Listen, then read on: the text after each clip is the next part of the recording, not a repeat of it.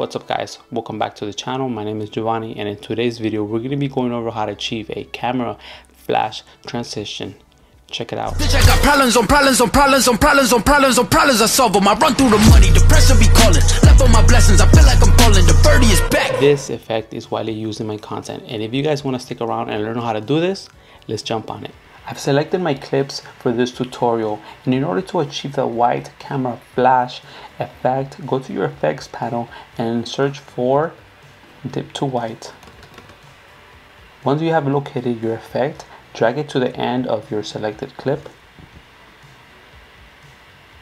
Double click on the effect. Change the time to 02 or 2 seconds or your desired time. To step it up a bit more, let's add an image or you can add more images if you would like so. But we can take a step further. Let's add some sound effects.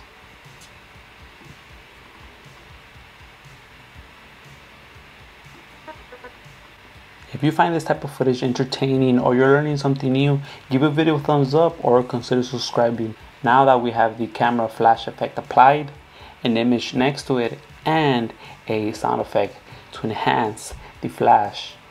Let's check out the final result. Boom.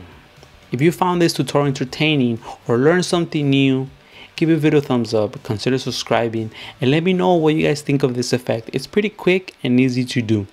That being said, till next time, deuces.